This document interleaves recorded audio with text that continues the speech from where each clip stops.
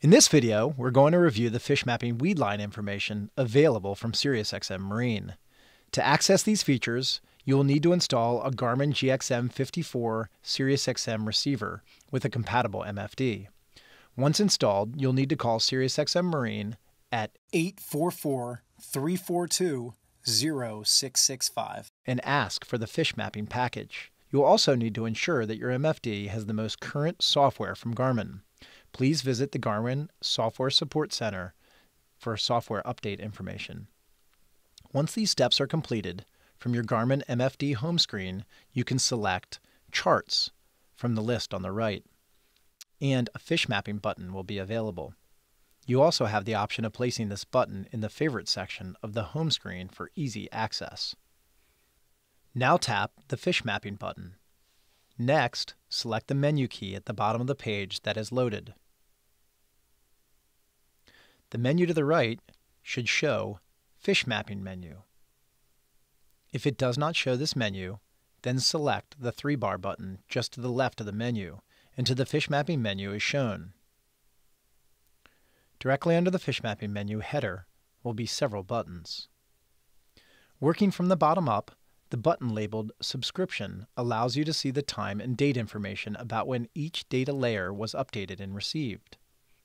If no timestamp is present, the data has not downloaded and you should leave your system on and check again in a few minutes. Please note that it may take up to 20 minutes to load from first turning on your system. Once the times are present, you can return to the fish mapping menu. The next button is Legend. Tapping this button places a window on the upper left side of the screen, which provides information about the layers being presented.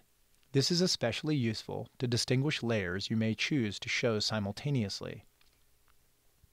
Next tap the Layers button. You should now see several categories. Select Weed Lines. This layer allows you to view concentrations of floating algae and weeds and is updated every 24 hours. Press the Menu button to view the information on the full screen. Zoom out until you see the magenta or purple colored areas of various shapes. These areas indicate where weed lines can be found. Floating algae and weeds provide nutrients and cover and become natural habitats for baitfish, shrimp, crabs, and other organisms, which attract larger predatory gamefish. Press the Menu button to return to the fish mapping menu Next tap the Loop button. You can use the Loop button to animate the most recent three days of weed lines as this data is available. The legend in the top left corner will show the weed lines timestamps during animation.